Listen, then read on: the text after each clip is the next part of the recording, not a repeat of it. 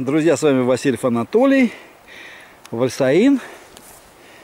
Я нахожусь сейчас в Вальсаине. Вот я хочу просто вам еще одну нарезочку такой сделать, да. Вот посмотрите, какая тут прям такие чудеса природы.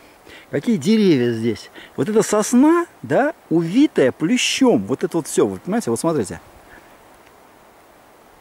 совершенно обалденный такой вот, смотрите, красота. Я прям, я прям вот в восторге, честно говоря.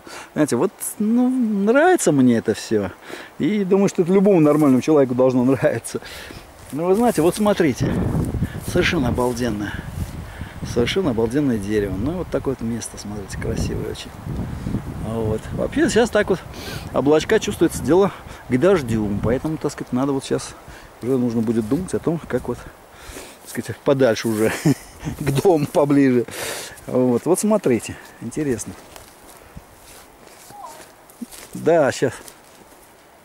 Сейчас иду, иду. Вот, смотрите. Вот это все плющ. Вот он. Так что вот так, друзья. Ну, смотрите. Ну, прелесть.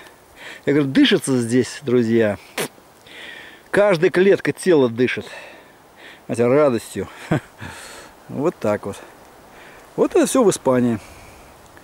Горы Гвадарама, предгорье. С вами Василий Анатолий.